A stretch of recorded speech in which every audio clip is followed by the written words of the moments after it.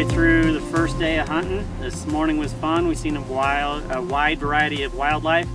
However, it wasn't anything we were looking for, uh, being oryx.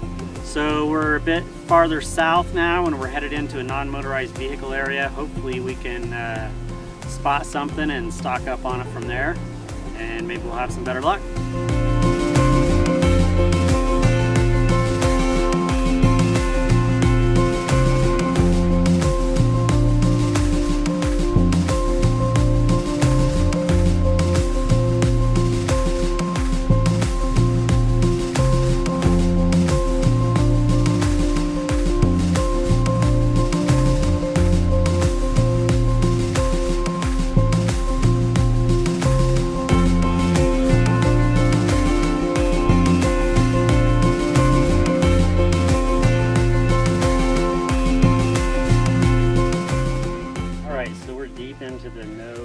Vehicle area and uh, we have seen some animals.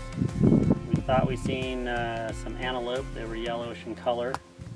Uh, we came in quite a bit deeper, another mile or so in, and in the same area we just spotted a couple animals, and they are oryx. However, they're way out there. We still have a mile and a half or two to cover. Um, so we're gonna get busy and start covering some ground. D2 and um, we seen some animals yesterday afternoon.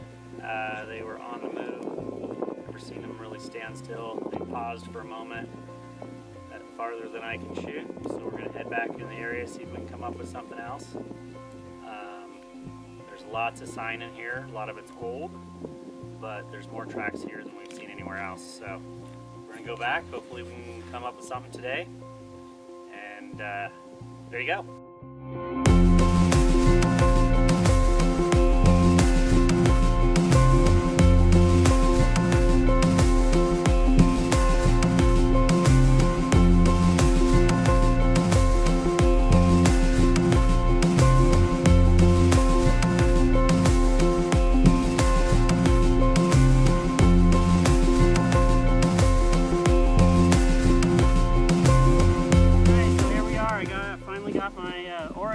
Mexico. Little bull, broken horn, I'm okay with that. Meat in the freezer, looks good. Um, I hit him a little far back early this morning and it took me a while to get him tracked down. We finally got him and I'm happy about that. We're gonna get him cut up and headed to the truck to go into the freezer on ice.